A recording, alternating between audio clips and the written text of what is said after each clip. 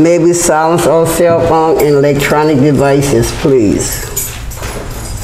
My name is Vidor Nicholas. I'll be the moderator for this morning's class. Welcome to the Institute of Divine Metaphysical Research. This is a school and not a church, and neither are we affiliated with any religious organization. This school is a non-profit, non-denominational, religious and scientific research organization dedicated to showing proof of the existence of Yahweh our Elohim and the operation of his eternal purpose, pattern, and plan operating throughout eternity to this present day.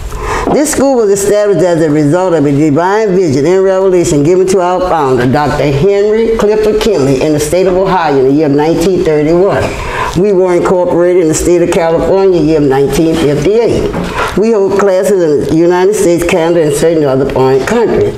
This Tampa branch was established in 1996. At this time, I would like to introduce to you the Dean of the Tampa branch, Dr. Jill Turner, President, Dr. Cynthia Smith. In this school, we use the true, correct, and original name and title of the Father, the Word of Son, and the Holy Spirit, which are contained in the original Hebrew text. The true name of our Heavenly Father is Yahweh. It has been improperly substituted by Lord. The true title of the Word of Son is Elohim. It has been improperly substituted by God.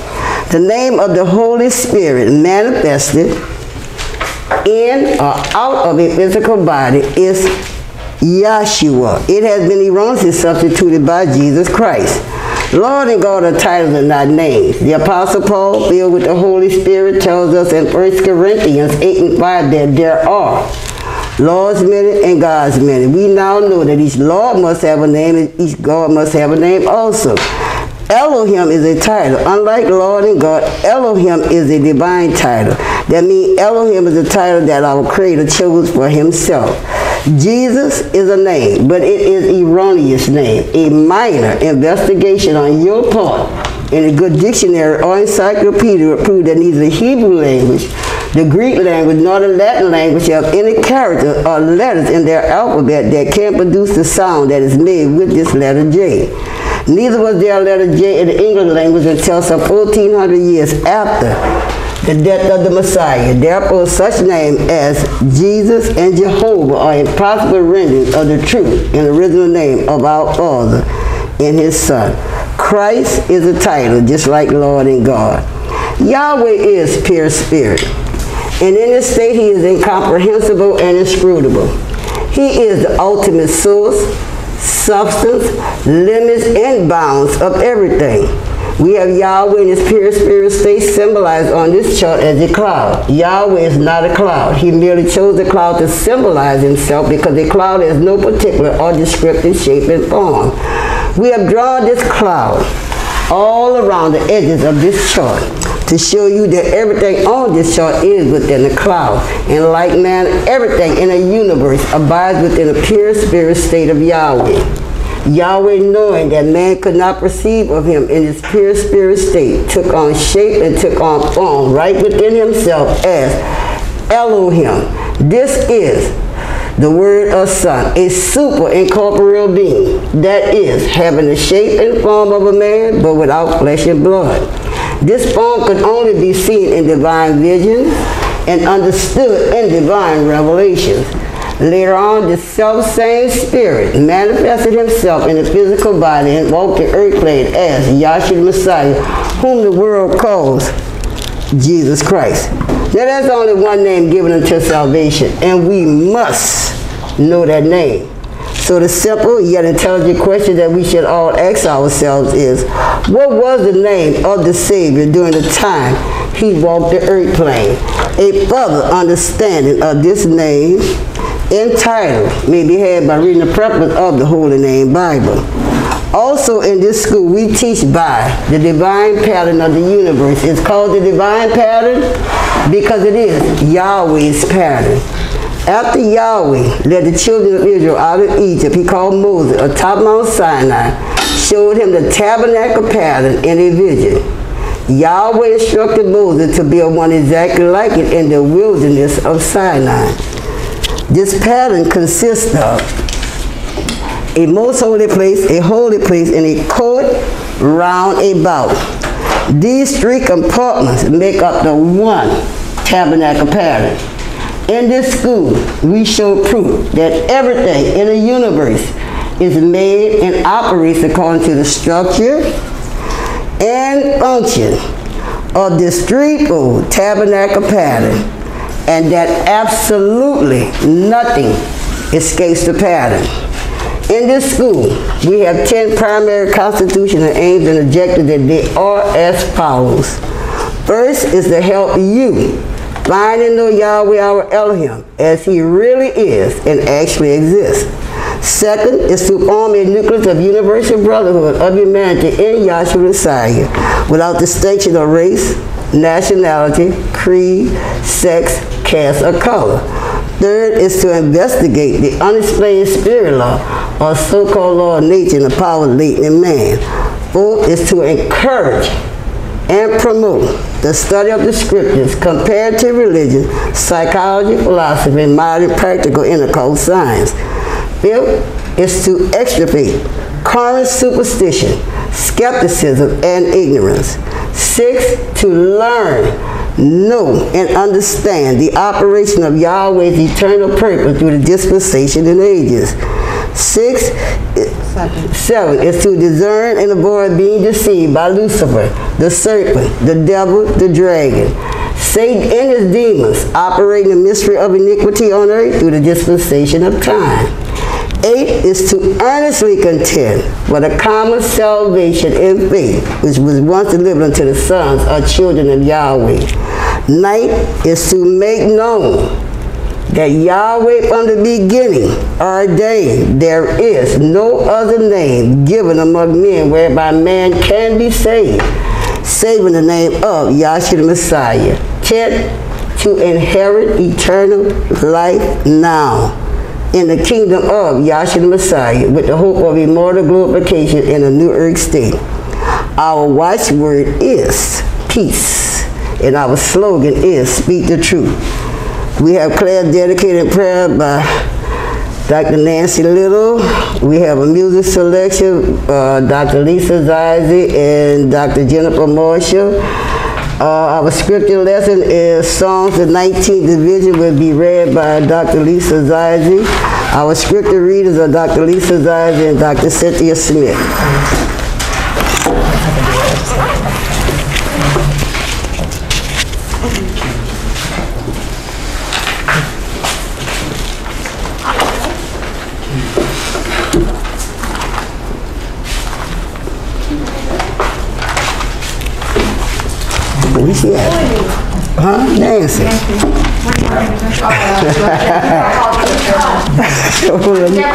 So I don't Oh, oh yeah, I, okay. Hold- up, hold up, hold up. You wanna stay right there? My name, I got you can- you can talk. I'ma hold this hold this and stay right here? Yeah, you can stay right there. All right. Um, I can start by telling you I have an angel with me, and that's my dog, because that's her name. So, um, if we would all bow our heads and our hearts and open ourselves to what Yahshua and Yahweh have in mind for us, and uh, whatever we say or however we act and whatever we do, if we put that first and primary and realize that nothing we do is on our own, as long as we have that faith. I would ask that we pray for those who are in harm's way or who may be crying out, and that somehow they are, their hearts are, are turned to you, both Yahshua and Yahweh, and that that is what we're here for, and that is why things that are happening are happening. It's all part of the plan. So I ask these things and I say, Hallelujah. Hallelujah. Look, there you are.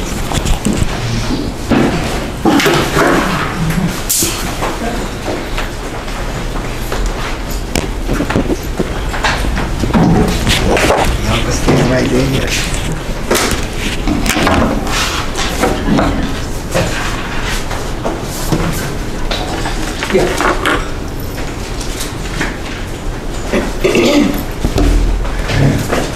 It's another original song written by Julie Turner.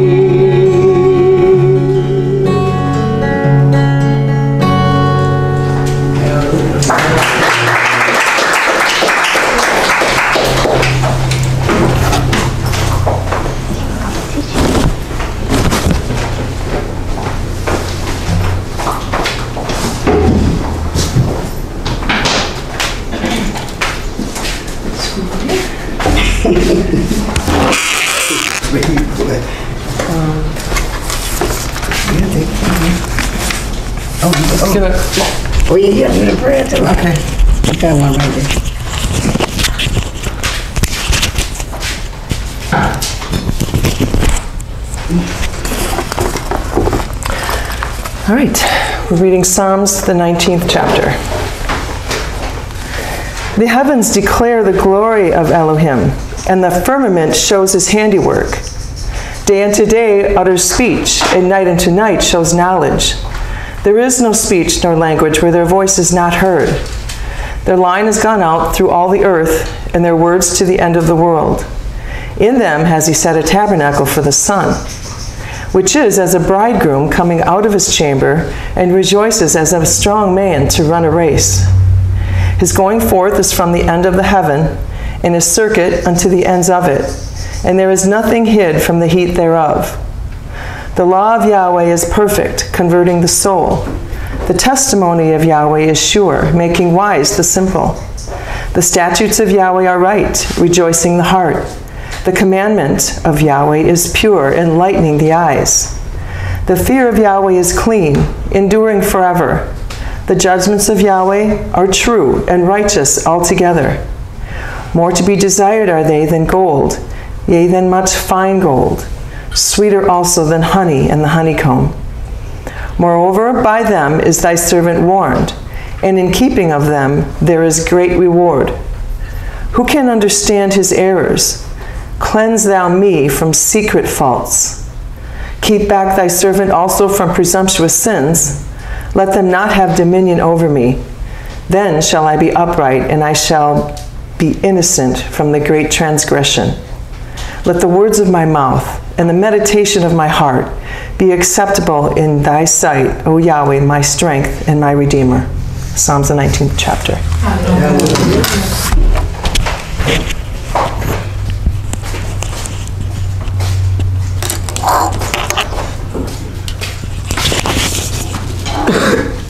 good morning again, class.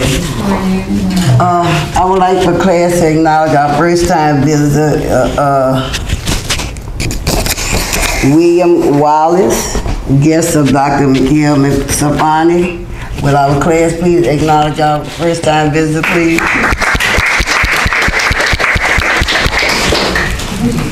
All right, as is, if you have any question after class, uh, for any of the speakers, I mean, please address them after class.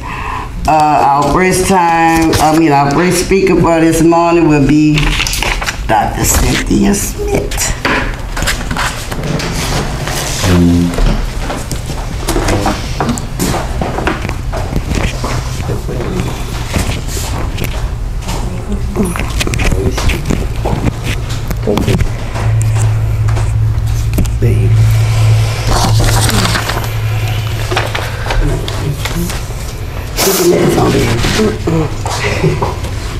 Good morning.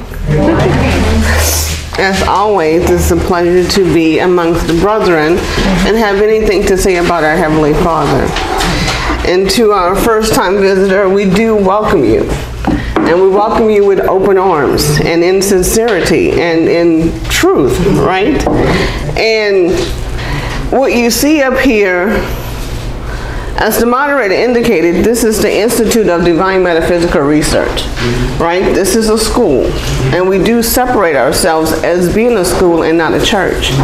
And we're not affiliated with any other religious organization. And so when you look at the title of the institute, it's metaphysical means beyond the flesh. So we're going to be talking or concentrating on things that are beyond the flesh and meaning your heavenly father. You know because that's what we all want to know right? Or hopefully that's what we all want to know. Something about our creator as he really is and actually exists. Let's get the first aim please. Because in this institute we have aims or goals. Just like in your life you may have goals to reach a certain endpoint and so these aims are set up for us to reach a certain endpoint, which in reality is not really an endpoint. It's really a beginning. Go ahead. A first aim to help you find and know Yahweh, our Elohim, as he really is and actually exists. Right, and so that aim is for us to help you find and know. And see, you may say, well, I do know something about God. You know, first of all, if you say I do know something about God, that's telling me you really don't know, right? Because God is a title. God is not his name, right? And just like the moderator went through these names, God is just a title. Lord is a title, right? And so we're going to get into that. But what I want to say, first of all, is that this teaching is not from a man, it's from our Heavenly Father. Now, to some people that may sound kind of weird or crazy or whatever. Because see we're physical creatures and we're so used to seeing someone physical being represented in everything in this earth plane right? And saying that this is the teaching directly from the creator himself it's like okay. You know and you know, we used to say that now I was I was raised Baptist, right? And I remember in the church, you always had a big, huge picture of the pastor, right? Yeah. And but we always say that you're not going to find a picture of our founder here. Now, obviously, this is not our classroom. We don't own this classroom. We're just renting this space, right? But if we did have a permanent building that we actually own, you still would not see a picture of the founder hanging up in the on the wall right? Because we're not following, we're not promoting that this teaching is a, from a man. We're promoting that this teaching became came from a divine vision and revelation. And our founder, Henry Clifford Kinley, is the man that had that vision. And what he said was, he said, make me prove it until you're satisfied, right? To your satisfaction. Now, when I was out in the church world, number one, we didn't carry Bibles to church. Right? And when you went to church, there was no Bibles there. On the back of the pews, they had those hymn books right? It was all the songs. Mm-hmm. We never had a Bible. So when the minister was up doing his sermon, he could have been saying anything. You know, I can remember him saying, I'm coming to you from Isaiah such and such. Now we had no, and we couldn't follow along because we didn't have a Bible. So you didn't really know if what he was saying was the truth, right? And see, our slogan is speak the truth, right? Mm-hmm. And so this is what we want you to fall in love with. We want you to fall in love with the truth. And so that's why the first aim is to help you find and know your God as he really is and actually exists, right? Because see, when we came, we were out there in the church world, our concept of God was distorted. Because first of all, it came from information that was not true. It came from information that was passed down from generation to generation to generation. And nothing against your grandmother, great grandmother, grandfather, whatever. We all been there. We all had our first time coming into one of these classes, right? And so when you look at what's out in the world, I'm just going to say it like this. If you don't know his name, then there's nothing else you can know about him that is correct. Right? And so, because when you meet someone for the first time and they give you their name, they give you a false name, that means they don't want to have nothing to do with you. Right? Or that means anything else you find out about them is not going to be correct. And so, yes, you had your concepts and opinions coming into this class, or coming into the, I'll say, the body of Yahshua. Because it's not about a physical classroom, right? You know, we have come to the conclusion that Yahweh doesn't dwell in temples made with hands. And so we collectively, we're the body of Yahshua the Messiah. So when you're in this body, See, the concepts and opinions that you had before, you come to realize that it was wrong. Everything you thought about your creator was wrong. Okay, so let's go to, um, let's get, let's go to um, John 1 and 1.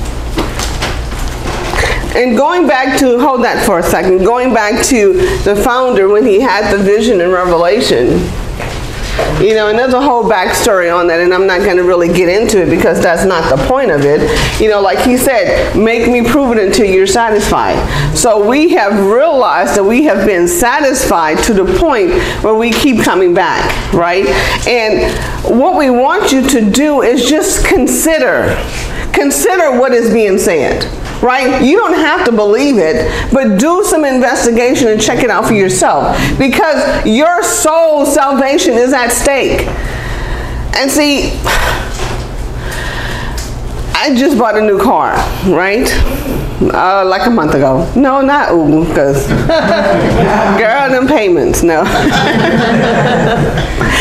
but when I went to the dealership, I test drove the car right? Mm-hmm. Ask the dealership all kind of questions. You test drive the car, you kick the tires, whatever. Mm-hmm. Look under the hood, whatever, right? Mm-hmm. But when it comes to your salvation, your soul, you just want to believe someone because they sound good. See, we were used to that. Believing someone just because, oh, that sounds right. Have you been have you ever been wrong, sincerely wrong when something sounds right and then you find out that it was not right? Right?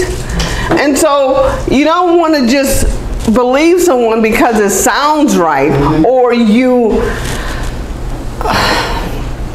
um, respect them or you know someone standing up here dressed all nice or or with the collar on or whatever you want to take charge of your own soul salvation and prove it for yourself so now let's go to um, okay now what you see here is part of the vision that our founder had. And see, not only did he have a vision, but he had a revelation to go with that vision. Get for me um, Proverbs 29 and 18, and then I want also Habakkuk 2 and 1.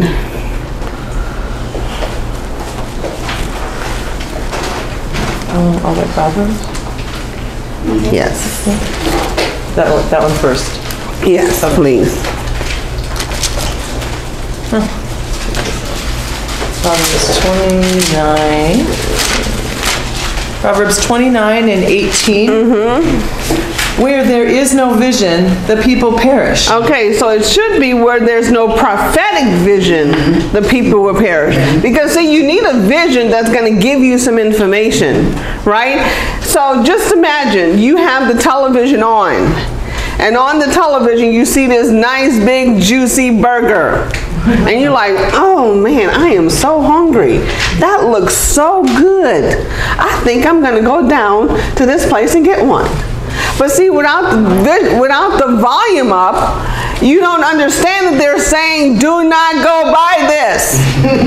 it's poisonous. Do not eat this. Oh, right?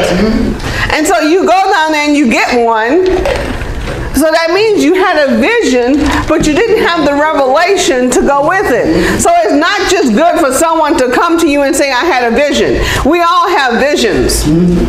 You watch television, right? We all have visions, mm-hmm. but you need someone to have a, to have had a revelation mm-hmm. in order to do something for your soul. And so what you see here on these charts is charts is a pictorial illustration of the vision that our founder had. And so you will see that it's different parts. Like this is the the creator image by the creation. See, these are, I mean, you can kind of recognize some of the stuff that's on the chart. You have the cell, the, you have the butterfly, you have the man, the solar system. You know, you, so you see different things represented on this chart. This is the tabernacle compared to man, or Man made in the image of Elohim by the pattern of the tabernacle. Okay? This is the tabernacle pattern. This is your physical body. Okay? And so this is called our Moses chart. And you will see here you have Moses. Now, this is something that you can recognize that is actually in the Bible. And then this this chart down here is called the elementary chart, and you have the different events that happen in the Bible. And then this is the chart. Um, well, I'll just say the Yahshua chart. You know, so this is a pictorial illustration of the vision that was actually given to our founder. Now, this is not the vision in totality. See, this is just part of it. Because of all the things that he saw, it couldn't be contained in this room. Right? And so this is just something for us to another way for us to learn because we all learn differently. Some people learn by doing, some people learn by seeing, some people learn by just hearing, right? And so we have every basis covered. Now get Rebecca, please. Becca, to, let me start at one? Yeah, you can start at one. I will stand upon my watch and set me upon the tower and will watch to see what he will say unto me and what I shall answer and, and what I shall answer when I am reproved. Mm-hmm. And Yahweh answered me and said, Write the vision and make it plain upon tables, Okay, so he said, write the vision and make it plain upon tables. Go ahead. that he may run that readeth it. Okay, and so we call these charts as the word tables, right? Because from the table you eat. And see, we're not feeding you physical food, but it's spiritual food, food for your soul, right? Something that's going to sustain your soul in this creation. Okay. I want you to hold um, John 1 and 1. well, let's just read it. And I want you to still use God. Okay. And Go ahead. John 1 and 1. In the beginning was the Word. No. Did you say John 1 and 1? Oh, yeah, I'm sorry. Go ahead. Go ahead. Okay. In the beginning was the Word, and the Word was with God, and the Word was God. Okay, so in your Bible, you have several beginnings. And so when you read something, see, by this being a school, we are taught to ask the questions as you're reading. So when it says in the beginning, in what beginning? Right? And so, see, this is the beginning of the creation. And so you see, you find that when you go to um, Genesis. Genesis, it'll say in the beginning. And see, that's a different in the beginning than this in the beginning, mm-hmm. right? And so all of that, you know, see, I had one person told me when I used to invite this person to class, they would tell me, "Oh, I have to study some more be- before I come down there." Yeah. See, you don't have to. s- You're never going to study up enough without the inspiration of the Holy Spirit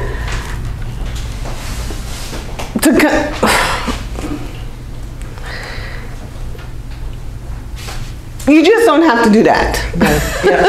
Right. You, you know what I'm saying? It's not that you have to study up to come and learn something about your creator.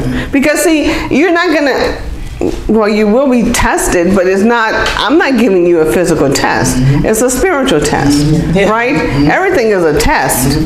When you go into the store, you say you're on the diet and you see that chocolate cake, that's a test. You, you understand what I'm saying? I mean, that's just a silly ex- Testing your willpower. ex- example, but you know, everything is a test, but it's not that you have to study up on your creator to come and learn something about him, right? Because see, a school is to educate you on something you didn't know, right? And see, this is the school of the highest learning. There's no graduation. Well, I guess you can say there is, but it's not that there's an end. There's no end, right? Okay, go ahead. We're in John 1 and 1. In the beginning was the Word, and the Word was with God, and the Word was God. Okay, so it says in the beginning was the Word, the Word was with God, and the Word was God. Now, see, when those ministers, and they still do it till this day, on TV, I see them. I'm coming to you from the Word of God. See, this Bible is not the Word of God, right? And so I am jumping ahead of myself, so let me just back up for a moment. Yahweh means he who causes to exist. Your very existence is because of your creator. See, he is the creator, we are the creation. You breathe his name. Yahweh, Yahweh. Right? Now you just go in the closet and just listen to yourself breathe. Or in a quiet room, just listen to yourself breathe. You breathe the name of Yahweh. Yahweh causes us to exist. This is the name of your creator. Now go, um, hold that, but I'm going to come back to that. Let's just go over to um, Exodus. Uh, The third chapter? Now, Yahweh you can hear it, you hear it now out there in the world. At one point, when I first came into class, I've been in class for, I don't know, 20 something years. And you didn't really hear it that much. But now you can hear it.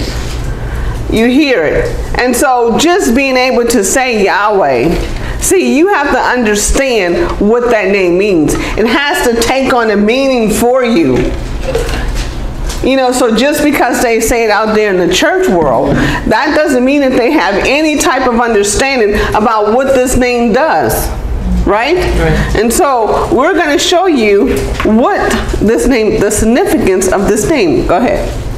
You want to start it, um, where do you want to start out? There? Okay, so before Yahweh's name was known, they were calling him what?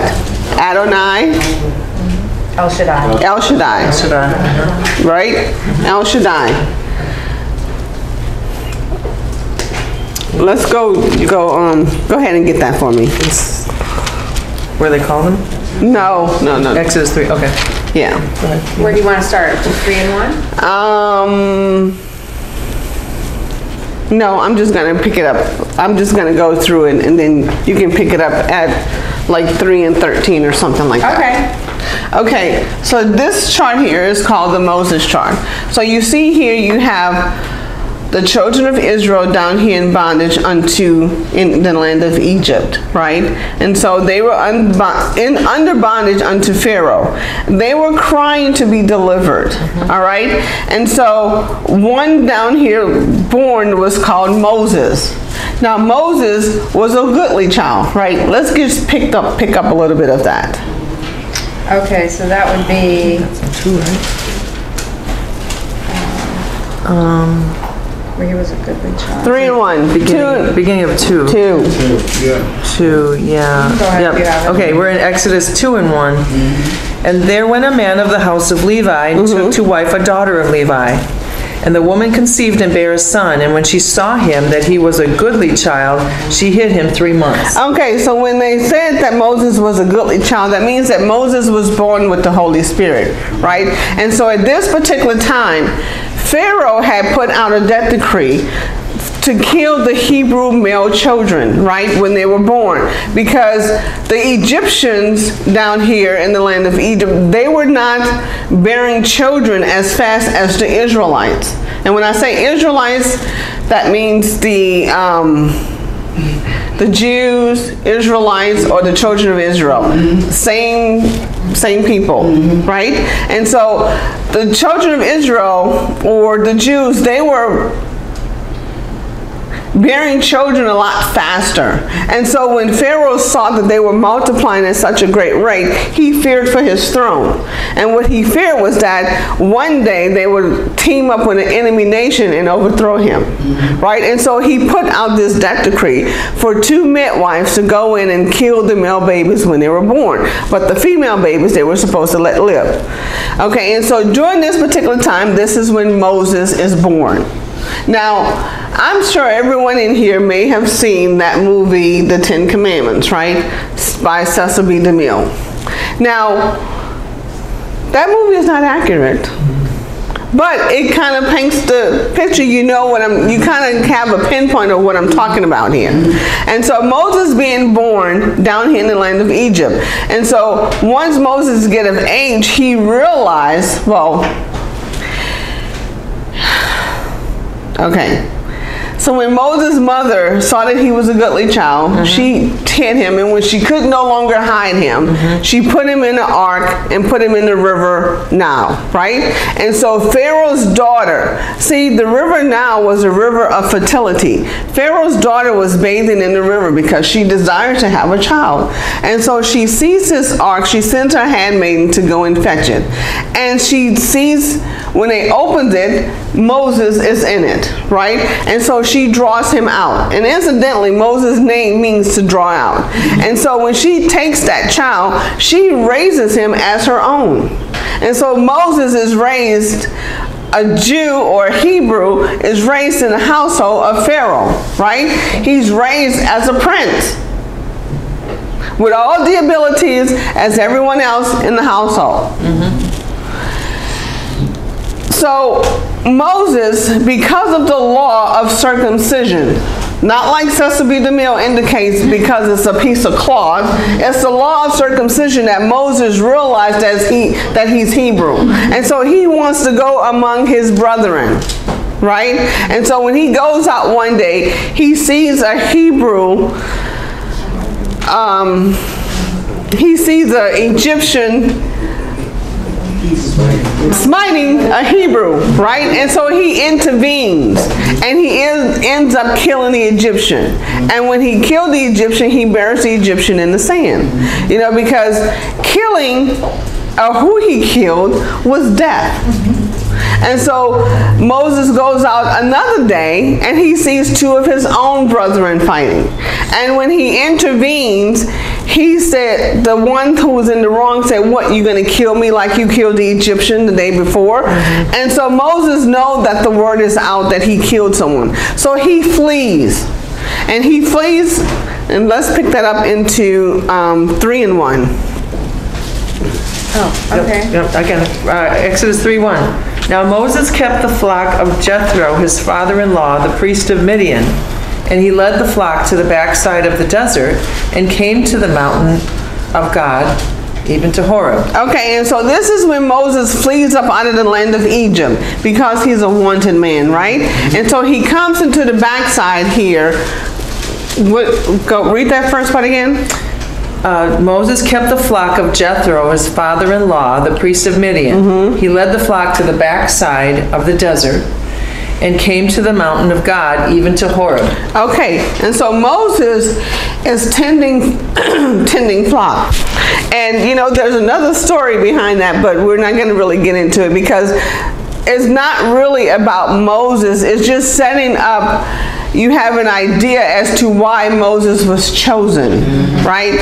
And so we don't want to just jump and say Moses is seeing this. You want to have some kind of backstory about who Moses actually is for understanding's sake. Okay, so keep going. 3 2 And the angel of the Lord appeared unto him in a flame of fire out of the midst of a bush. Okay, so now Moses is on the back Moses is right here tending flock, right? And he sees this phenomenal sight. He sees this bush burning, but it's not being consumed. And you have several, I don't want to say people, uh, but Voices or voices? No, well, no. Or several. Titles. yeah, you have several okay, I'll say entities for the sake of understanding, talking to Moses. You know, because first it said, what did it say?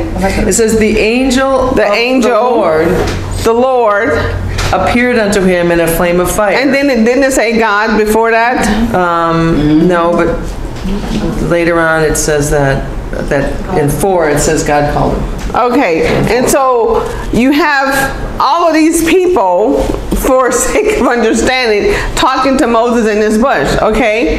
And so, but Moses is seeing this phenomenal sight. A bush is being, a bush is on fire, but it's not being consumed, right? Okay, go ahead. The angel of Yahweh appeared unto him in a flame of fire out of the midst of a bush, and he looked, and behold, the bush burned with fire, and the bush was not consumed. Mm-hmm. Three, and Moses said, I will now turn aside and see this great sight, why the bush is not burned. Okay, and you know, like I said, when you're reading, you have to also ask yourself questions. And see, when it says Moses turned aside, now see, ordinarily reading that, I probably would have just read over it. But see, now that I have an understanding, when he said turned aside, that means he turned aside from his own concepts and opinions, right? Because you have to turn aside when you see a bush on fire and it's not being consumed, right? So Moses is having a vision. He's having a vision. And so he has to turn aside from his own concepts and opinions. Go ahead. Four, and when the Lord saw that he turned aside to see, God called unto him out of the midst of the bush, Oh, that's a busy bush, right? Go ahead. and said, Moses, Moses, and he said, Here am I. Okay. And he said, Draw not nigh thither, put off thy shoes from off thy feet, for the place whereon thou stands is holy ground. Okay, so at this time, Moses is commissioned to go back down into the land of Egypt and tell the and tell Pharaoh that. No, I'm I'm getting ahead of myself. Keep going. Six, moreover, he said, I am the God of thy father, the God of Abraham, the God of Isaac, and the God of Jacob. Okay, so I want you to skip down. Cry of Israel has come up unto me, or further, Moses Well, said unto God. Moses is going to be commissioned to go back down into Egypt and to tell Pharaoh that God said to let his people go. Okay. Get to that part. 13. And Moses, 13? Yes. Yeah, and Moses said unto God, Behold, when I come unto the children of Israel, and shall say unto them, The God of your fathers has sent me unto you, and they shall say to me, What is his name? What shall I say unto them? Now, what version of the Bible are you reading from? I'm a King James version. Right.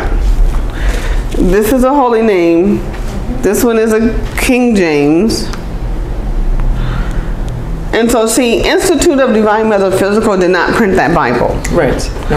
And so that has been in that Bible since forever, right? when Moses said to God, What is your name? What shall I say unto them?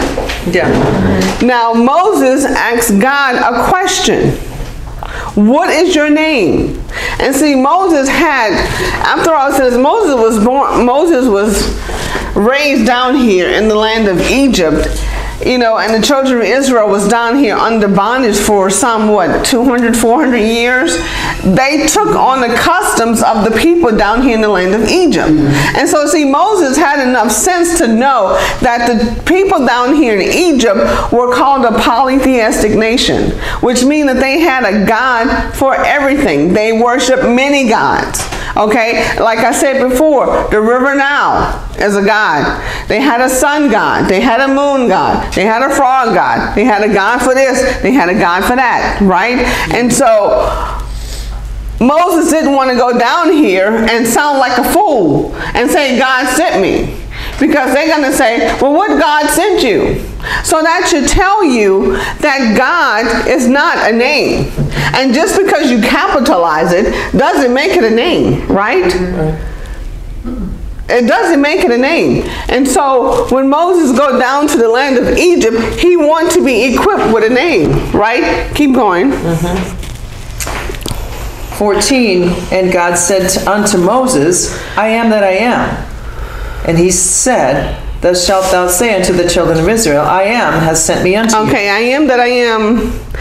You know, that's something else that's incorrect. And, you know, we can get into that later, but that's not my point that I'm going for right now. Go ahead. 15, and God said moreover unto Moses, Thus shalt thou say unto the children of Israel, The Lord God of your fathers.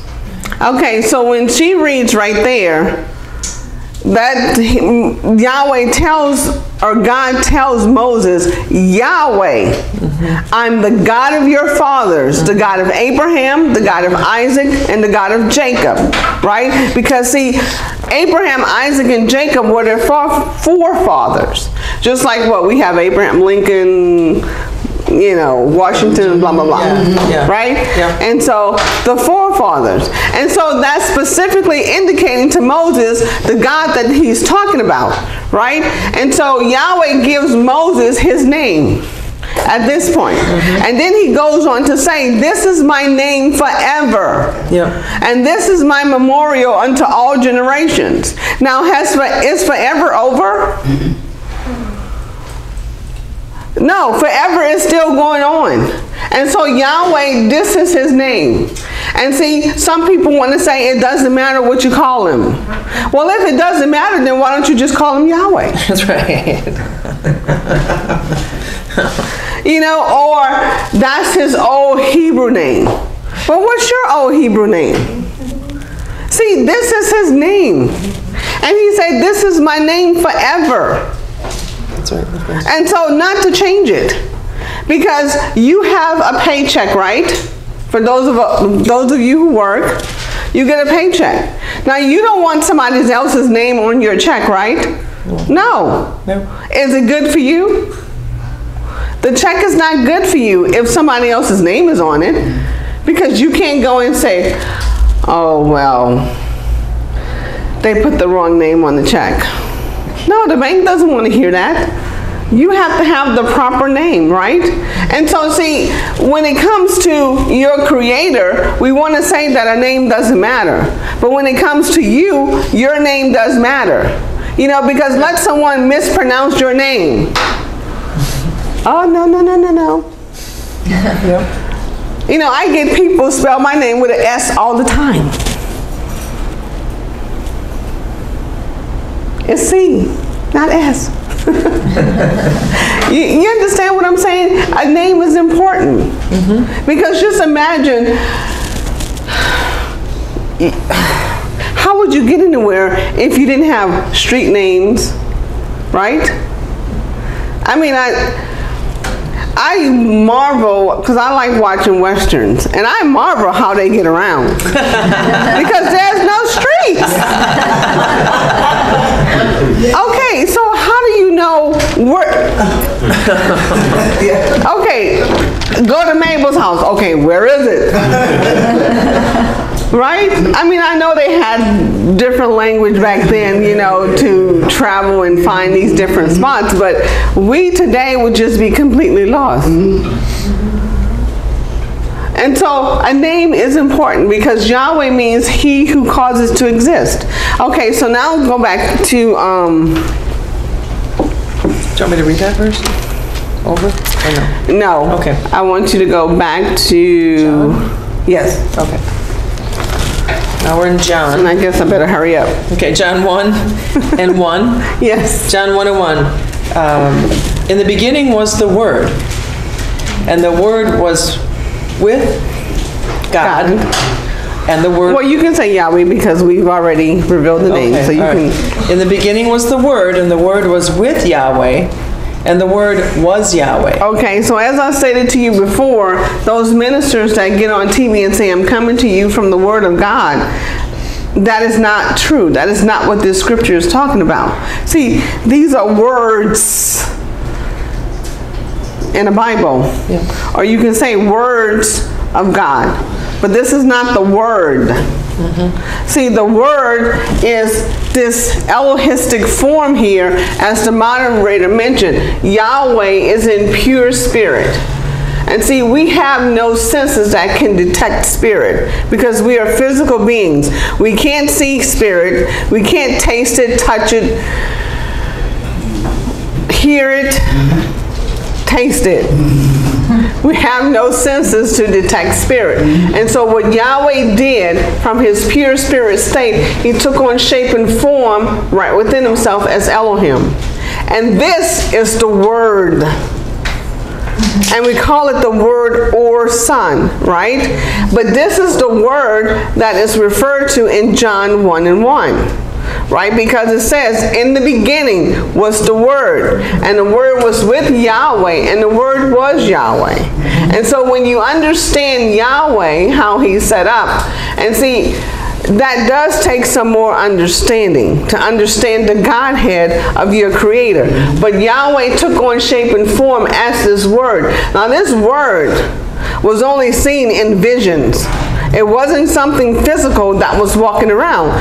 Get for me um, Exodus 24. No, Nine. yeah, you know which one I want. Yes. Exodus 24 and 9. Yeah. Then went up Moses and Aaron, Nadab and Abihu. Okay, so see on this chart here, we have that depicted. See, you have Aaron, Nadab, and Abihu, and the 70 elders that she's going to be reading about. Go ahead.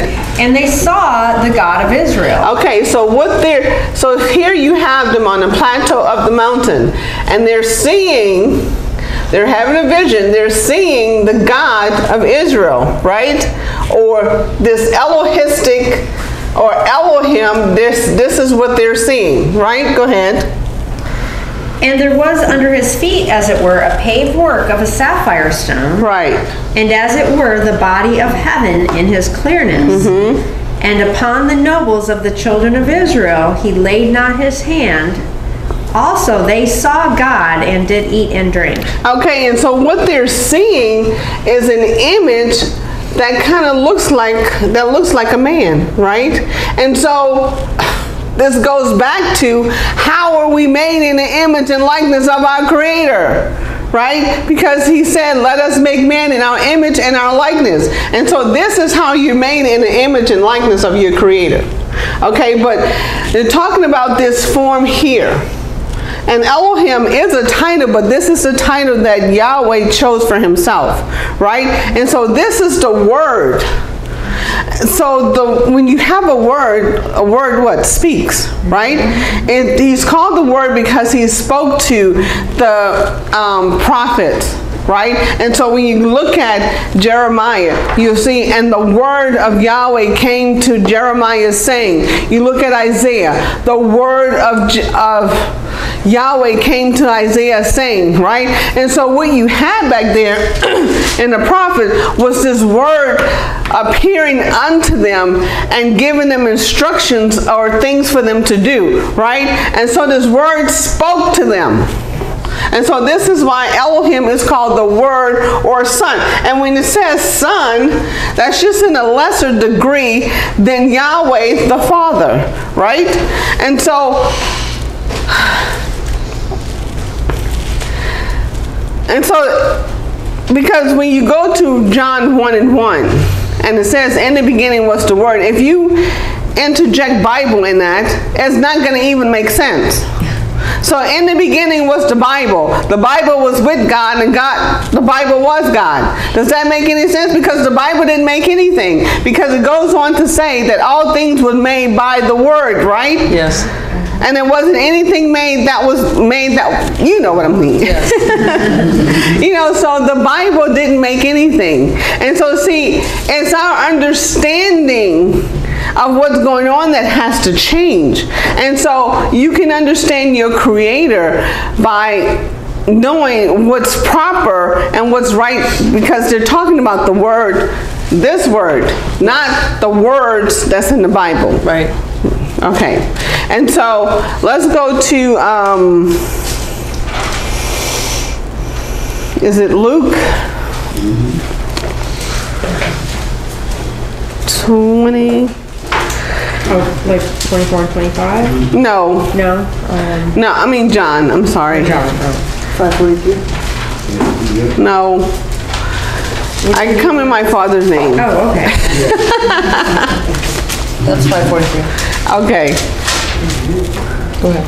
You got it? You, no. Okay. Yet. Um, John 5 and 43. yes. I am come in my Father's name, and you receive me not. If another shall come in his own name, him you will receive. Okay, so Lisa is reading from the King James Version of the Bible. Now, we use the King James Version, we use the Holy Name Version. The Holy Name Version of the Bible was written by an Italian Jew, A.B. Traina, who just placed the true and original names back into the Bible, right? That's all, that's the only difference. Now, some wording is different because obviously when people write something or publish something, they like to interject their own concepts and opinions about things, right? And so you do have some variations in the wording from the King James Version to the Holy Name Version. But King James Version of the Bible, if you're reading that, it should be in red, right? And I was always taught that whenever you see something in red, that means that that's Jesus talking, right? And so here it says, I come in my Father's name, you receive me not. Let another come in his own name, him you will receive. Now see, that can't be Jesus because for the most part, the whole world has received the name of Jesus, right? Even those that don't really believe have just still received the name of Jesus, right? And so it has to be Yahshua. Yahshua is the name of the Savior. Um, Pam, get for me um, Matthew 1 and 26.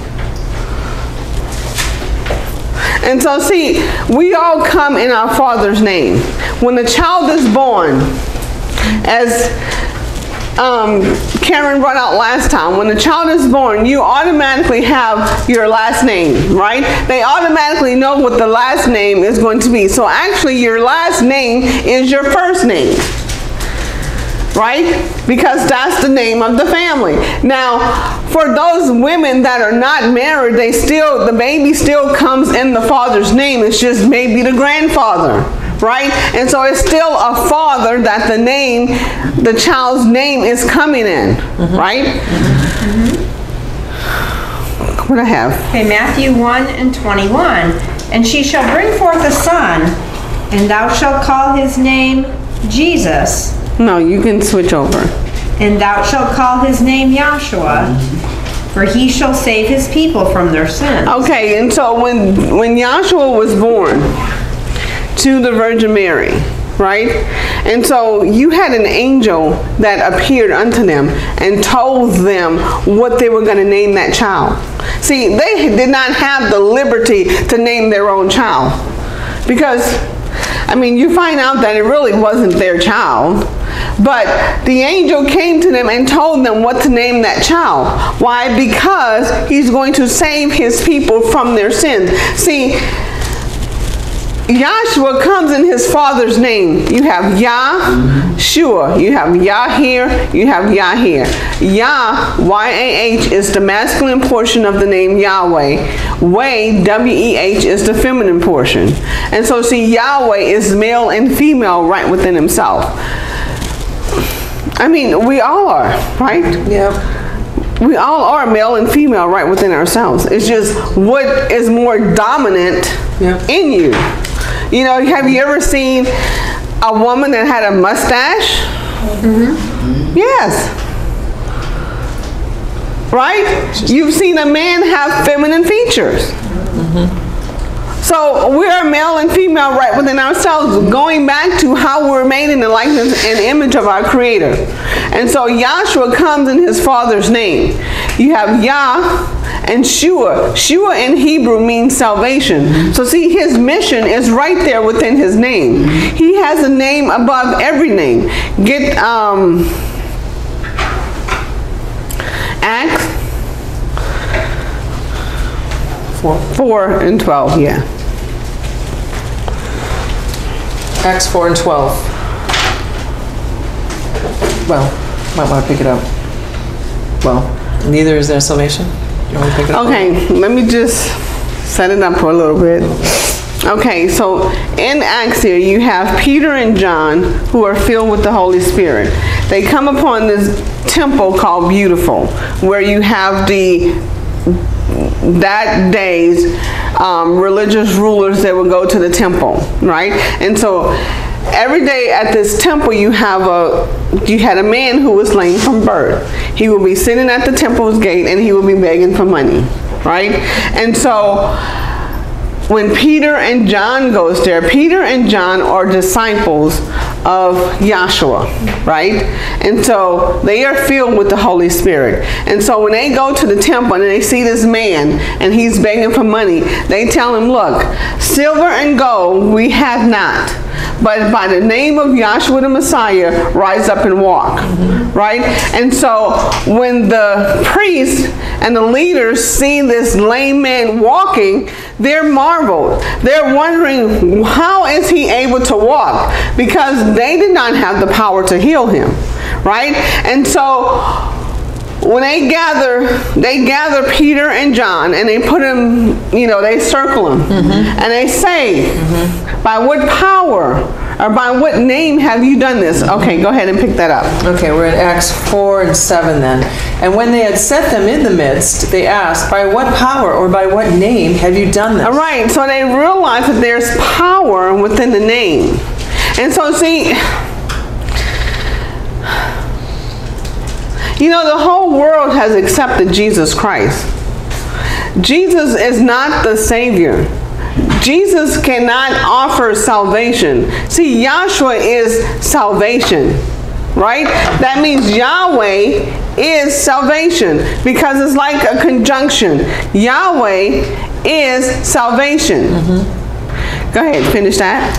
um, uh, what, 8. Then Peter, filled with the Holy Ghost, said unto them, You rulers of the people and elders of Israel, mm-hmm. if we this day be examined of the good deed done to the impotent man, by what means he is made whole, be it known unto you all, and to all the people of Israel, that by the name of Yahshua the Messiah of Nazareth, mm-hmm. whom you crucified, whom Yahweh raised from the dead, even by him does this man stand here before you whole. This is the stone which was set at naught of you builders, which has become the head of the corner. Mm-hmm. This is 12. Neither is there salvation in any other. Okay, so they're declaring there's no salvation in any other name. Go ahead. For there is none other name under heaven given among men whereby man whereby we must be saved. Right. And so, see, when we say that you can only be saved in the name of Yahshua, you know, someone may say, Well, I don't like you saying you can only be saved in the name of Yahshua.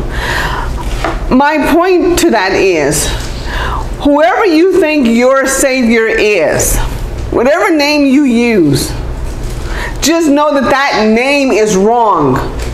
The name is actually Yahshua. And so, see, that's why we can say you can only be saved in the name of Yahshua, right? Because if you say, well, Jesus is my Savior, we're not taking your Savior away. We're just giving you the correct name to call your Savior, mm-hmm. right? Because, see, people want to say, oh, he knows who I'm talking about. That's not the point that he knows who you're talking about. Do you know who you're talking about? See, that's the point. Because, see, salvation is based on knowing right? Because when Yahshua in John the 17th chapter when Yahshua declares himself as salvation he say you have to know that they might know. See it's based on the knowledge. Right? And Yah and Yahweh talks about in um I don't know what scripture that is, but he talks about my people are destroyed for lack of knowledge, right?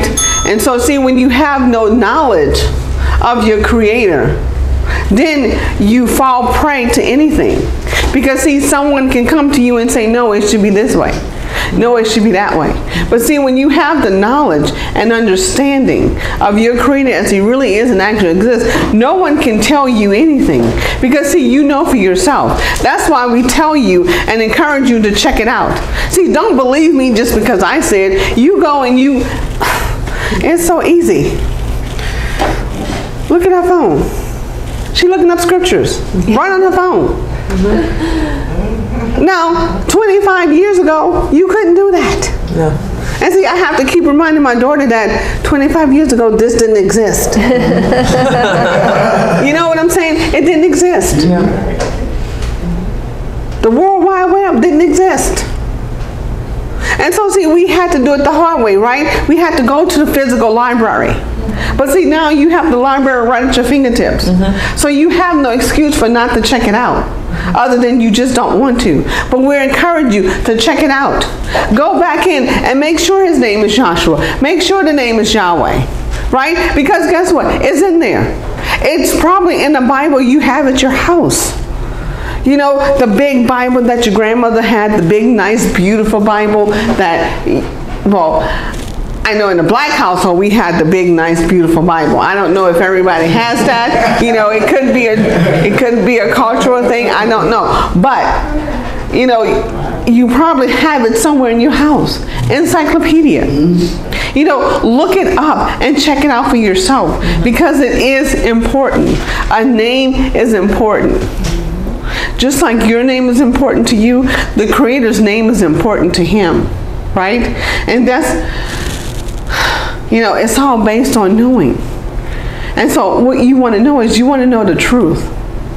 You don't want to keep following after someone because somebody said it. You want to know the truth about your Creator. And see, that's what we're here to give you the truth because we have nothing to gain. I mean, we have new members to gain, but you know, we're not trying to give you what you want to hear. See, out in the church, you was used to paying Jesus for your salvation. See, there's no plate being passed around here, right? We didn't ask you for your money. All you have to do is pay attention. We don't need your money because there's not enough money that you can pay for salvation, right? He's saying freely give it, right? And so it's free. Salvation is free.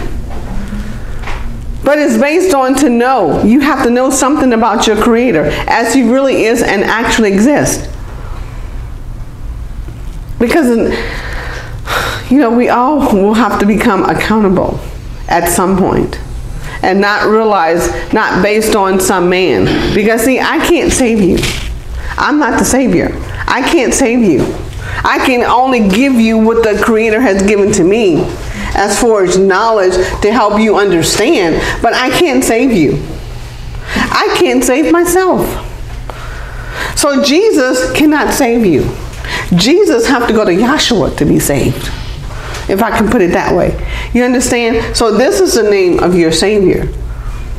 We're not saying that there's no Savior. Yeah, we're just giving you the true and correct name of the Savior so you know what to call. Right? Because it is important. Mm-hmm. It's important because our salvation is at stake. And so, just like it says, let's just read um, John 17, 17 and 3, just real quick. John 17 and 3. And this is life eternal. Okay, so he's talking about himself. He's saying this is life eternal. And see, like like Karen said, we didn't know the difference between this and that. He's saying this is life eternal. Go ahead. That they might know thee, the only true Elohim, or God, and Yahshua the Messiah, whom thou hast sent. Right. And it's based on to know. And with that, I'll say hallelujah. Thank you for the time.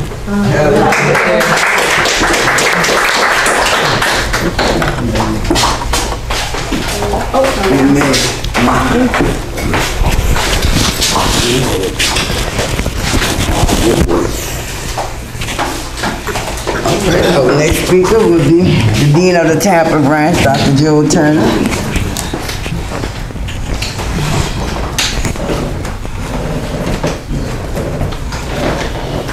Look at it. Where you want it? Right here? Thank you. Uh, Good afternoon, everybody. I thoroughly en- enjoyed the uh, the remarks of the first speaker, and I would just like to kind of continue on. Okay, can you hear me now? Okay. Yeah. So she mentioned uh, knowledge, okay? Uh, Give for me uh, scripture it's uh, Hosea, the fourth chapter. Read the first verse and then skip down to the sixth verse. Okay, now, um,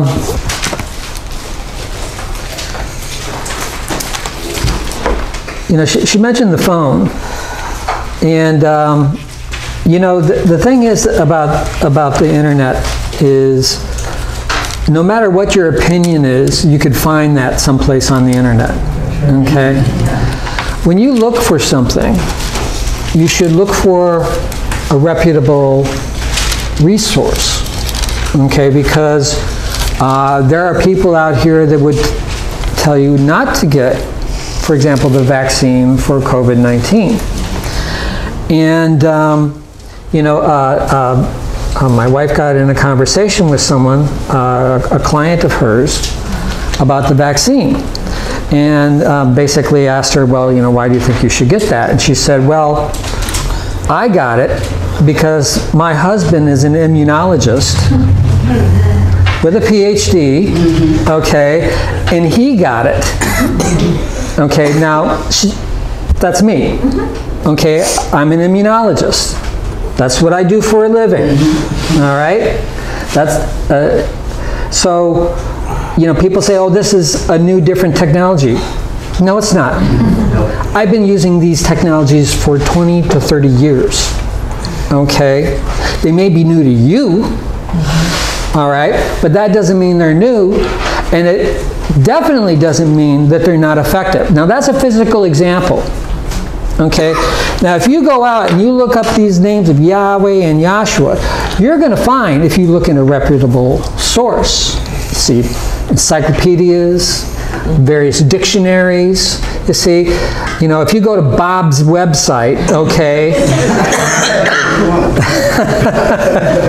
Bob the Barbarian's website, okay, or something stupid like that, okay, you're going to find, oh, well, no, uh, see, this name is 400 years old. Do the math. When was the Messiah around? 2,000 years ago. Okay, 400 versus 2,000, that's not even close. Okay, that's, that's not like uh, hitting a rim shot. Oh, it went off the rim. No, that's, that's not even playing on the court. Okay, this is not the truth. Now, see, you can call him Jesus if you want, you see, but if the truth is important to you, you see, my response when I heard this name Yahshua, I was blown away. I was just like, wow, you know, that is so cool. You know, and you know, you ask people, right? You ask anybody out here, do you want to know the truth? they all say, I've never found anybody who says, no, I don't want to know the truth. Okay, now remember, when I was in college, okay, I would talk to people about class. Okay, I dragged thousands of people down to class. Okay, Miguel is. I, I was telling Pam how he's he remind now he, he's a little older than I was when I was in college, but he he talks to people about class all the time. Now, like I said, I'm a PhD immunologist. These people are too educated to listen to me. Okay, they they think they know. When you think you know, you're not going to listen to anybody else. Okay, so you see, you want to get See, you ask someone, do you want to know the truth? And then when you tell them about it, okay, and this happened to me one time. You know, uh, I got in this conversation with someone, okay, uh, she was a friend of mine from when I was in college, and she said to me that she really wants to know the truth. I mean, just out of the blue, she said this. I hadn't even told her anything about class. So I'm like, wow, Yahweh, I'm going to tell her about it. So I spent two hours, maybe longer, telling her about the names and, and what I'm going to get into as far as how science and the Bible agree, okay? And after I got all done, she said to me, if that's the truth, I don't want to know. People don't want to know the truth. They want they want to know their truth. Okay? Now, I'm not telling you my truth. I'm telling you, and what Cynthia did is she told you Yahweh's truth. Your minister knows this name Yahweh, and he knows this name Yahshua, and he knows this divine title Elohim. They are taught these things in their seminary school. Okay? They know these things, and they're not telling you. And you ask them, because I have, why don't you, if you know these names, why don't you tell the people? And they'll say stuff like, people aren't ready for it yet. Okay? Do you, are, are you going to like jump out the window screaming? Okay? Are you not ready for it? Okay? Or you don't, it doesn't matter what you call him. Really? Show me one scripture, just one, in the Bible where it says, where Yahweh says, it doesn't matter what you call me. You see? and I can show you a, a hundred, at least, where he says, This is my name forever, and this is my memorial unto all generations. Now, we're generations from, the, from that time. So these names are important to Yahweh. All right? Doesn't matter if they're important to me. It doesn't matter if they're important to Amber or Lisa or anybody else in the room. Are they important to your Creator? They are. And he says so throughout the, th- throughout the Bible. Okay, it's, it's just, it's, number one, it's the truth, and it's the truth that he wants to be called by these names. Not by Lord, okay, which is a title that means loaf keeper, okay? Not by God, you see, which is a Germanic title for any deity, okay? You see, in the, in, the, in the scriptures, when you read a King James Bible, why does it say in some places the Lord God? I never stop to ask that question. The reason why is they took out the true names. Wherever it says the Lord God, it originally said Yahweh Elohim. Now, the first speaker just got done explaining to you the Yahweh appeared in a visionary form known as the Word or known as Yahweh Elohim. So, wherever in your King James Bible where it says the Lord God, that's giving you some information. That's telling you that Yahweh Himself appeared to them in a visionary shape and form. Let's uh, hold that, Hosea, and get for me uh, Exodus 25, okay, where Yahweh appeared. 8 and 9, I think it is. Okay, 24, 9 and 10. 9 and 10, Yeah. okay. Exodus 24, 9 and 10. Uh-huh. Then went up Moses and Aaron and Nadab and Abihu The same scenario that, that, that Cynthia was talking about. Go ahead. and 70 of the elders of Israel, Okay. and they saw the Elohim of Israel. They the saw God the Israel. Elohim of Israel. They saw Elohim. Mm-hmm. Okay, now go ahead.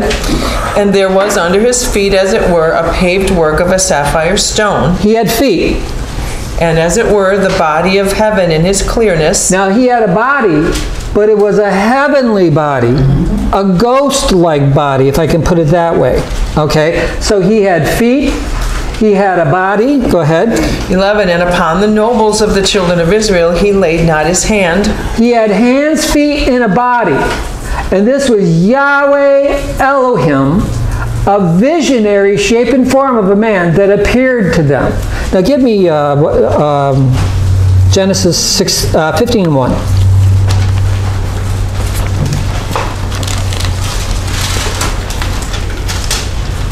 Genesis 15 and 1. Uh-huh.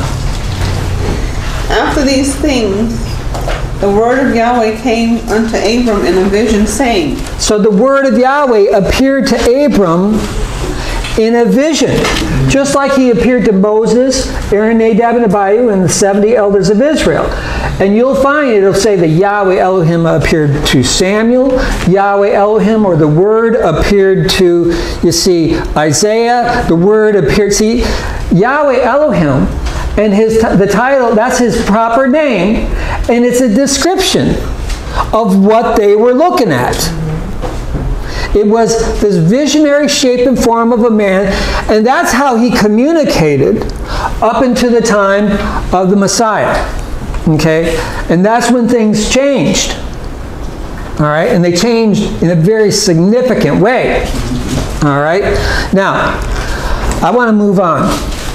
So we got charts here, okay, and, and Cynthia po- pointed this out. We got charts with, okay, we got cells and we got atoms and stuff like that. And, and we got this chart here, it says man made in the image of Elohim, okay? And, you, and, and people read this because it's in Genesis that Yahweh made Adam in his image and likeness, mm-hmm. and that man is made in the image and likeness of Yahweh. Mm-hmm. Okay, now you take someone like like Lawrence back there. He's like six foot eight. Okay. All right, Pam, go over stand next to, uh, to to Lawrence. Lawrence, would you please stand up for a moment? Okay, I'm, I'm trying to pick people that are like very different in appearance. Okay? now, which one is made in the image and likeness of Yahweh? Okay? Now, the answer is, is both of them. If you understand the difference between a principle and a manifestation. Okay? Now, see, this is what I got when, when, when I was, in, when I was uh, uh, attending uh, the Baptist church growing up. Is I was told, number one, you couldn't know anything about God until you died. Okay? And I never stopped to ask the question, well, wouldn't that be too late? I mean, what are we doing here now? Why we're, see, people always want to know, okay, uh, number one, everybody wants to know the truth, right? Okay. And the other thing they want to know is, what is my purpose? Why am I here? Okay, right? People want to know that. Why was I born? Okay, especially when things are bad, you'll say something like, Why was I ever born? you know? We can tell you your purpose for being here is to learn about Yahweh. And that when you die, you're going to go on in ages to come to learn about him. And that's in your scriptures. Okay? Now, so people will say that science and the Bible don't agree. That's not true. Science and the Bible agree exactly. Okay? And, and I'm going to use this example of how you're made in the image and likeness of your Creator. All right? Now, I will say this science and religion don't agree. Okay? But science and the Bible agree. All right? Now, uh, uh, uh, you got that scripture in Hosea? The- Okay, get that for me first, please. Hosea. And, and also I want Isaiah 33, um, uh, uh, 33 and 6, I think it is. And uh, 1 Thessalonians, uh, the fifth chapter. So we're in Hosea, the fourth chapter, verses 1, and then skip down to 6. Right. Hosea 4:1 Hear the word of Yahweh, Uh-huh. you children of Israel. For Yahweh has a controversy with the inhabitants of the land, because there is no truth, nor mercy, nor knowledge of Yahweh in the land. Now he's mad at these people because there's no truth, no mercy, and no knowledge of Yahweh in the land. You see, the way I was taught was I just had to have faith. Now, when they said faith, there was something implied in that, and that was blind faith. That's what they meant. You just got to work up on it and believe. Now, how well does that work for you from a natural standpoint? You see, if I had never met this woman before, and, and, and I said, "Here, would you hold on to my wallet and my uh, my credit cards?" Now, I'd be a fool to do that, wouldn't I? You see? See? Now, if, if now I do know her, mm-hmm. and she's my friend, I would have no problem doing that. You see? Now, that is, see, people want to have blind faith. I want to know Yahweh. I want to be able to trust in Him because I know things about Him. That's, that's faith there. Mm-hmm. You see? Having experience and having a friend and having interactions, you see, and when you, especially if so, I've known you since you were a teenager, you see, and she's known me that long too. Yeah. We have a friendship that spans decades. I know her. I, and, and because I know her, I can trust her. Okay? And vice versa, I hope. Mm-hmm. Okay? Maybe she knows me and can't trust me, okay? yeah, I wouldn't trust Joel, okay? I, have been around him for decades, right? You know? but see, if you got to have some knowledge. Yes. And Yahweh had a controversy that there was no knowledge of him in the land. Right. Okay, go ahead. Read verse 6. Down to 4 and 6 in Hosea. My people are destroyed for lack of knowledge. destroyed. Okay, now, if you take your, your cell phone and you drop it, and it gets a little damage on it, you feel bad, right? But if you drop it and it gets destroyed, okay, that's pretty final, all right? That's pretty severe, all right? So here he says, My people are destroyed, spiritually so because of a lack of knowledge. Mm-hmm. Go ahead. Because thou hast rejected knowledge. Now, it's not that he didn't provide them some knowledge. Mm-hmm. You see, you're being provided with some knowledge here, mm-hmm. all right? But go ahead. Because thou hast rejected knowledge. They rejected it. Go ahead. I ahead. will also reject thee. That thou shalt be no priest to me. Okay. Seeing that thou hast forgotten the law of Yahweh, I will also forget thy children. Wow. That's pretty severe. You don't want knowledge? He's going to forget you and your kids. Okay? that was that's that's rough. Okay? Now people don't like that. They want God to be warm and fuzzy. All right? Well, I want to know the truth. And you see Yahweh does have great love. Don't don't get me wrong about that. But these people rejected him and rejected knowledge of him. Okay? And you know what they rejected of also? You'll find that they they're- rejected that name of Yahweh and called him Baal. B A A L. And that's in Jeremiah. All right, Jeremiah is some definitely doom and gloom kind of prophet, okay? And, and, and they rejected him, you see, for, for Baal. Now, this is a strange thing. You look up the word Baal. You know what the word Baal means? What does it mean? Lord. It means Lord. They rejected Yahweh for the name Baal. Now, what have people done today? They've rejected the name Yahweh for Lord. See, you- you've heard the, the saying, history repeats itself. Okay? It does, you see. And, and that's the principle, you see.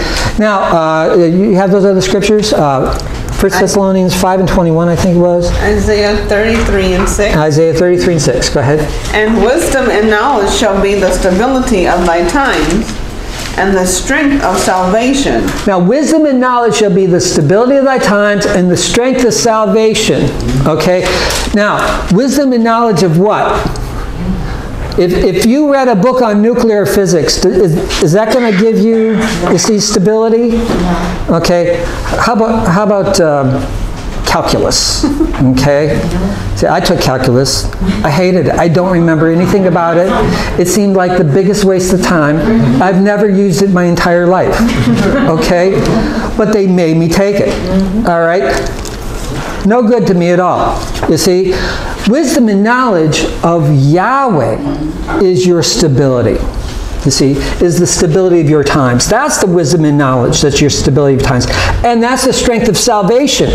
You see, that's, that, that's the strength, you see, that we have, okay, is that wisdom and knowledge of Yahweh. Now, you got uh, uh, 1 Thessalonians? Yep, 1 Thessalonians 5 and 21. Uh-huh. Prove all things, hold fast that which is good.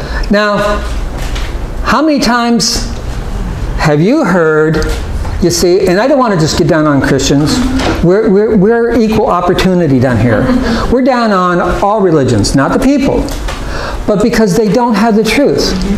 I don't care if you're a Buddhist, I don't care if you're a Christian, I don't care if you're a Muslim, you see, we don't discriminate, okay? And every one of us walked into this room just as ignorant as the day is long. You see, now read that again for me, please. 1 Thessalonians 5:21. Uh-huh. Prove all things. Now, prove all things. Go ahead. Hold fast that which is good. and hold fast that which is good. See, we want to prove things to your satisfaction. And, and if you're not satisfied, keep coming down here. We'll work, we'll work on it. We got, we, I'll I'll tell you, we got a lifetime worth of knowledge and understanding to, to give, you see, out. And that goes for people that have been around for a while too. Okay? Now, what I want to do is I want to show you how science and the Bible agree. Now, back here at the time of Moses, see, it all starts really with Moses. All right? Moses wrote the book of Genesis. He received it in a vision up here in the mountain. Okay? And then he, you see, also wrote the book, book of Exodus. Okay? And, and, well, there's a story to that. But, anyways, so back here at Moses' time, Moses alone was called up into this mountain where she was reading in the 25th chapter of, of Exodus. You see, that Moses, Aaron, Nadab, and Abihu were called up to this mountain, but Moses alone was called up to the top of this mountain. And when he was up there, you see, he saw a vision of the Genesis. So when Moses says in the beginning in Genesis, like you were talking, okay, he's talking about in the beginning of the vision that he had. When John is talking about the in the beginning in John 1 and 1, he's talking about the actual beginning of the creation of, uh, uh, of Yahweh, okay, of, of the heavens and the earth, okay, through Yahweh. So Moses comes up here. And Moses, you see, as we, we just read, saw Yahweh Elohim, uh, a, a visionary shape and form of a man, with hands, feet, and the body. Okay, and he appeared to, to Yahweh, and, Yah, and Yahweh Elohim transformed into this tabernacle pattern. Okay, and then back into uh, this visionary shape and form, showing that this tabernacle pattern, which is described in extreme detail, okay, in, in like I think 30 something chapters in the book of Exodus, all right, um, that this tabernacle is an example of Yahweh. Now you go all the way to John the Revelator, all right, and the first thing he sees is he sees Yahweh Elohim.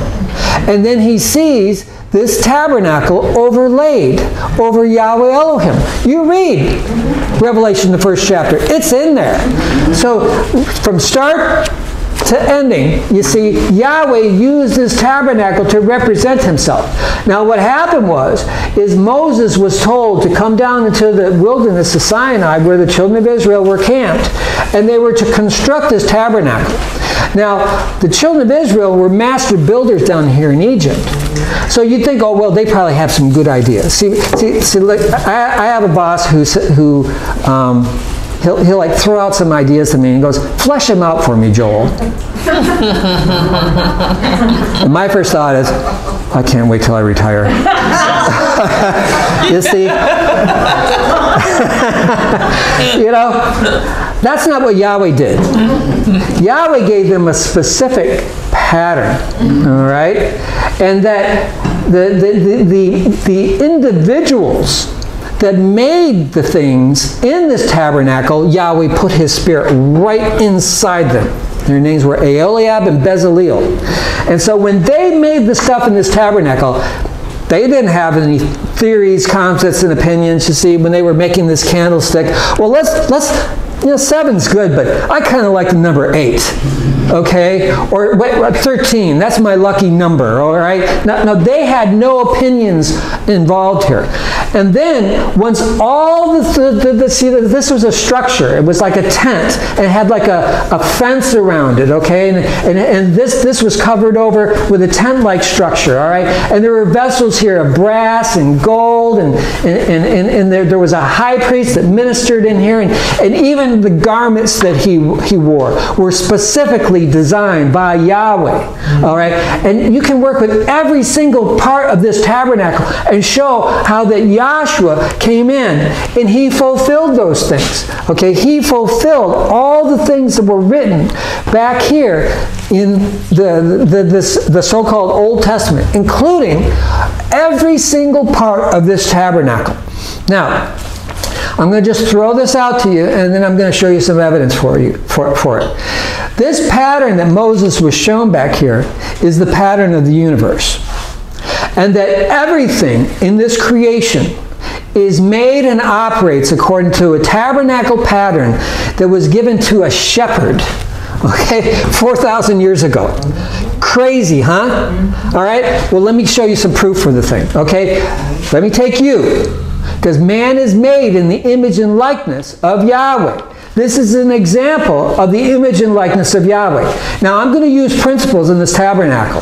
And I'll show you how, see, see I, I, you don't have like, you know, uh, you know, you don't have like a physical heart in here and guts and stuff like that, all right? But there are principles in this tabernacle, all right? Let me give you an example. There were three parts to the tabernacle. Court roundabout, holy place, most holy place. How many parts are there to your body? Three parts. You have a head, you have your chest or your thoracic cavity, and you have your abdominal cavity. One, two, three, one band. One, two, three, one tabernacle. Now, everything goes according to this tabernacle, right? So how many parts are there to an atom? You have neutrons, protons, and electrons. Only those three. You know, you, you don't have other particles to make up that, that atom. Okay? The only difference between atoms is that, you see, oxygen might have eight protons, neutrons, and electrons. Carbon may have six protons, neutrons, and electrons. But all atoms have, you see, those particles. Now, I know hydrogen's an exception, and there's principles behind that, but you see, it, it still fits tabernacle. Okay, and, and see, but but that's bringing it down the line. All right, now take a cell. You have a, a, a, cytoplasm or a cell body, you have a nucleus, and you have a nucleolus. Three major compartments to the cell, okay? So you, you take this man, and he's got these three compartments. Now, surrounding this tabernacle, you had two layers of linen surrounding your tabernacle. Now, isn't it funny that Peter referred to his body as a tabernacle? Mm-hmm. Okay, you'll read that. I think it's in the book of Peter. All right? That he said that I must take off this now, my tabernacle. all right? You see, and, and, people, people say stuff like, oh, your body is a temple. Where did they get that? From the scriptures, okay? You see, th- this is the temple of Yahweh. Now, two layers of linen, how many layers of skin you have? Two, the dermis and the epidermis. All right? Now, going into the court roundabout, you have an altar. It has four sides, it had four points of blood, and had a grating system in the center. Sacrifices were offered up because people would sin, and this would die so that they wouldn't die for their sins. It, this lamb or whatever was offered up here died in their place. All right? Now, this correlates to your intestines. Four sides, right? Your large intestines, you have an ascending, transverse, descending, sigmoid colon. Four sides. Four points of blood on each of the corners. You have four major arteries that feed this large intestines. Okay, grating system in the center. So you have your small intestines, which go back and forth and form, as it were, a network or a grating system in the center. Okay, now the sacrifice was offered up here. So whatever you eat dies so that you could live. This died so that they wouldn't die for their sins. Okay, uh, uh, let's see. What did I have for dinner last night? Salmon. Okay, was, was it alive? No. Is it still like inside my stomach jumping around? Okay, it died so that I could live. You see, pork chops, whatever you like, okay? And vegetables, they offered up, did you know they offered up vegetables and stuff? They also offered up oils and stuff like that. See, I love things cooked in olive oil myself. Okay, so it died so that they could live. Now, if you say, "Well, I'm not gonna, I, I'm, I'm, I'm, I'm not gonna, nothing's gonna die for me," well, then you'll die. Okay, so something's gonna die. All right. Now, it forms like a, a network here, and th- and this was a fire. Okay, the majority of digestion in your body occurs in the small intestines, and, and, and it generates a great deal of heat okay, because of the, the enzymatic breakdown of that food. Okay, now, going from, from, from that, you have a laver of water. It's rounded configuration. Um, uh, the sacrifice was washed in that, so you have a principle of a cleansing. Okay, uh, the, wa- the dirty waters were drained down to a compartment beneath and out of a spigot system. Now, this was made of highly polished brass. So we have the water here in blue, but it wouldn't look that way. It would look yellow in appearance. All right. Now this correlates to your kidneys. Your kidneys, when placed together, are rounded configuration. All right. You have a cleansing here. What do the kidneys do? They cleanse your blood. Now, where I work, we use uh, uh, um, PET scans. And PET scans tells you the amount of energy that something uses. Okay, really the amount of glucose. All right. And when when we do a PET scan, of a patient, okay, the brain uses a lot of a lot of energy. So it lights up. All right? Your heart really, really lights up. Okay? Now the other thing that lights up is your kidneys. Because your kidneys work really, really hard. Because if your blood isn't clean, you will die. Right? People that lose kidneys, okay, have, have, kidney disease and, and so on, you see, they have to go into dialysis and stuff like that. But it, it takes a tremendous amount of energy. And the filtration system, by the way, if, if some, well, maybe I'll work with it sometime, it's just death, burial, resurrection. Death, burial, resurrection. Okay, in, in principle. All right. So you see, your your blood is cleansed. Your entire blood Okay, all 12 pints of you, all right, or whatever, how many, I'm sure Pam has a few, few less, maybe Lawrence has a few more, but about 12 pints, okay? All of that is cleansed 70 times every day.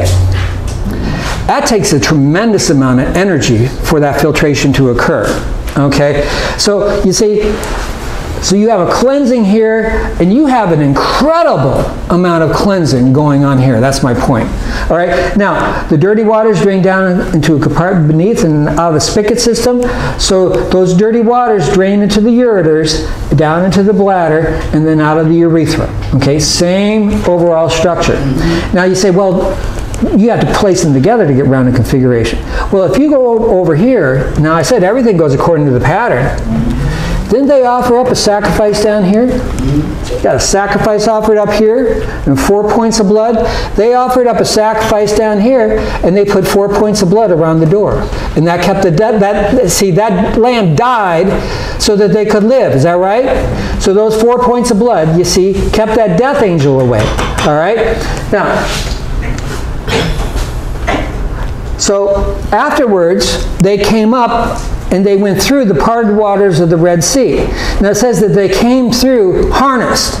And the word harnessed means five abreast. All right? So they went through the same uh, uh, waters, but they did it five abreast. So your kidneys in your body, okay, are five centimeters apart. See, even the dimensions go according to the pattern. All right? Now, you also have a cup of holy anointing oil, which it, it, was poured over the priest to quicken his spirit so that he would minister flawlessly. And by the way, this was a life or death situation, because there was a couple priests who thought they'd do it their way, okay, named Aholiab and Bezaleel. And they took and they offered up strange fire into Yahweh. And you know what Yahweh did to him? He dropped him. Okay, and when I say dropped him, I mean he killed them for being disobedient. So that holy anointing oil was essential. All right. Now this correlates to your adrenal glands. This is in a cup of holy anointing oil. The adrenal glands are described as being cupped over the top of your kidneys. All right. This is a life or death situation. See, uh, adrenaline is called the fight or flight hormone. All right. Uh, you, you, you show up at your friend's house, okay, and you open the gate and you walk into the yard, and they didn't tell you, but they, they bought a 150 pound Rottweiler named Satan. All right? And you see that dog, okay? and you, and you get out of that yard and you think, wow, I didn't think I could run that fast. You can't. All right? Adrenaline helps you out. All right? You see? It, it could have been a life or death situation. You see, you, you, hit that brake when that child runs in front of the car, you see, and then you feel shaky. Mm-hmm. That shaking is because of that adrenaline, you see, coursing through your blood, okay? So this is a, you see, a life or death situation, this is that fight or flight hormone. Now, going into the holy place, you have a blue, purple, and scarlet veil. And now this is on the outside. This is, this is the structure, and this is kind of out of doors, although it had a fence around it, okay? Now, so this, this was a, a, a, blue, a purple, and a scarlet or bright red veil. All right, and it completely covered this. We have it opened here so you can see what's inside. But it was, you see, you can see a depiction of it right here. All right, here's the, the holy place and the most holy place, and here's that veil. All right, and here's that court roundabout we just described. Now, it separates here, and you see, and being on that tent, that, that veil would blow with the wind. All right. Now this correlates to your diaphragm. Your diaphragm completely separates your uh, your chest from your abdominal cavity, except for right in the center. Okay, and in the center there you have your esophagus and you have some major arteries. And this is called a portal. This completely separated, except for in the center it had a door. Guess what the word portal means? Door. So you got a door here, you got a door here. Now this is blue, purple, and scarlet, so your diaphragm is a large sheet of muscle. It is pri primarily the way that you breathe. And you breathe all the time, right? You, you don't take a break. Well, I think I'm going to rest my diaphragm for a couple hours, all right? Uh, that's not going to work out for you. That'll just tell you flat out. Okay. I'm almost out of time. okay. Um, so, so, so you have large arteries, large veins, okay, and then the mixing of the, the, the, arteries, which are red, and the veins, which have which are blue, okay, they're designated that way, and because of the, basically the amount of oxygen they have, all right, you have a purple. So you have a blue, purple, and scarlet veil, and doesn't it blow with your wind? Okay, have you ever gotten hit right here? The, it's called the solar plexus. Plexus is a, is, a, is, is a bunch of nerves. And these nerves control your diaphragm. Okay? And, and, and if you get hit there, I remember playing football, I got hit right in the diaphragm. And I was laying on the ground gasping for air, okay? Because, you see, and, and what do they what do they say? You got the wind. knocked out of you. So this would blow with the wind. This blows with the wind. Now here you have a lampstand with seven branches, three paired wooden stood alone. So you go into your your your your uh, great aortic arch. Okay, you have seven branches here, seven branches. Three paired, one stood alone. Three paired, one stood alone. Okay? This gave light to the tabernacle. This gives light or life to your body. Also, did you know the inside of that artery is called a lumen, which means light? Okay? Now, you have a table of shewbread here, two gold crowns, 12 loaves of bread. Okay? This cor- and then with sustenance to the priest, this correlates to your heart. Did you know that the, the, the, the heart, the chambers of the heart are, are called the tables of the heart? Why would they call it a table? See, this is where the food's prepared. This is where it's distributed, or this is the table that you eat from. 12 loaves of bread, 12 pints of blood in an average human being. Two gold crowns, two coronary arteries around the heart. Coronary means crowns. Okay? Altar of incense here. A prayer was offered up here. It had an incense with four main ingredients. This correlates to your lungs. Four main ingredients to this incense. How many ingredients are there in air? Four main ingredients, okay? Four points of blood on four horns. You have on top of your lungs what are called cornu. And there's four cornu. So you have four horns here. You have four cornu, which means horns here, okay? Now, the priest would offer up a prayer unto Yahweh, all right? Now, it says in, in Psalms, uh, um, uh, the, actually the very last verse of Psalms, 115, verse 6, says, Let everything that hath breath praise Yahweh. So, you see, does that, does, does, does that dog breathe Yahweh? So you see, we, we- we have animal examples in here, okay? He breathes the name Yahweh. You breathe that name Yahweh. You see, you, and now that name Yahweh, written in Hebrew, is written Y-H-W-H. They don't have consonants. Four main ingredients. So there's four main ingredients to this incense. There's four main ingredients to that name Yahweh. Okay, now going into the most holy place, you have another blue, purple, and scarlet veil. So your neck, you have large arteries, you have large veins, so you, that gives you the red and the blue, or the blue and the scarlet. And then you have the thyroid gland here, which secretes uh, a hormone made of iodine. See, all, if, if you were to scan the body, and I've had this done, okay, because I've worked with radioactive iodine, okay, if you scan the body and you get exposed to iodine, it goes right there. And the word iodine, guess what it means? Purple. See? Blue, purple, and scarlet veil, blue, purple, and scarlet veil. Now here you had the, the Ark of the Covenant, okay, like from the movie. The two uh, archangels came up but didn't touch in the center. The, Yahweh appeared in a cloud, and you had two tables of stone with a Ten Commandment law.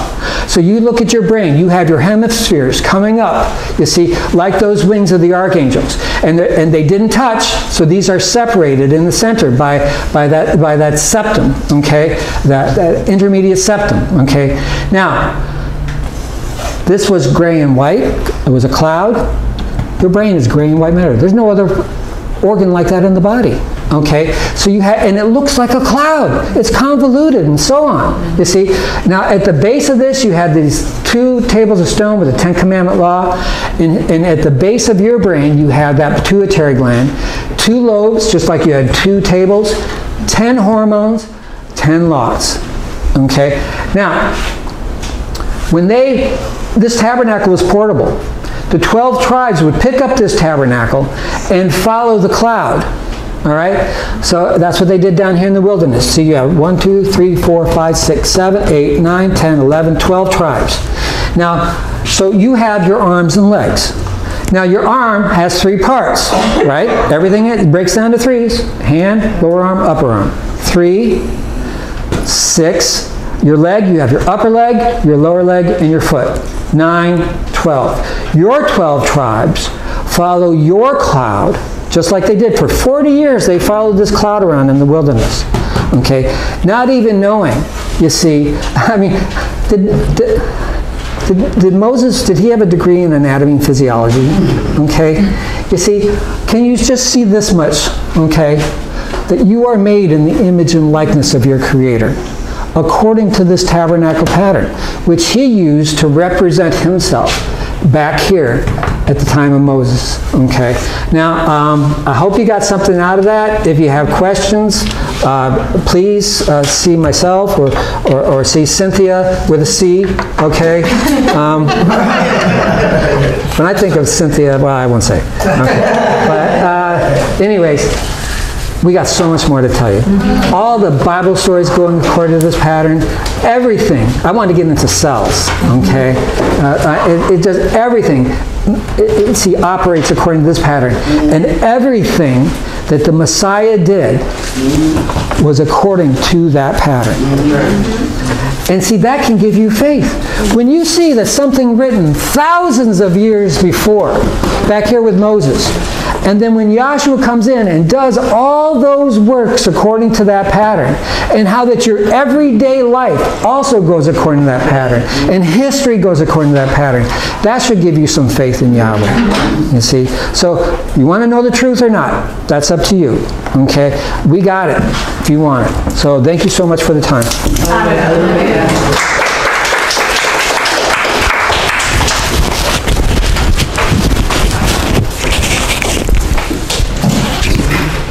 There any announcements? No, I don't have it. You didn't bring it? It's in the car. Okay. As it was said before, if you have any questions, just uh, address the speakers after class and after this, uh, really after doxology.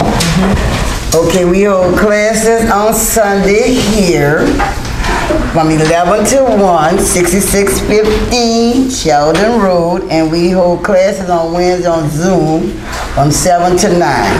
May we all be, well, we all stand to be dismissed with the doxology taken from the rest of the first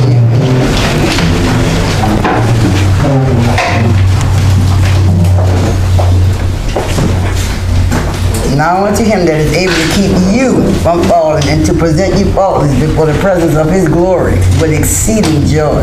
To the only I will Elohim, our Savior, through Yahshua Messiah, belong glory and majesty, dominion and power for all time, now and ever. Let us all say, Hallelujah.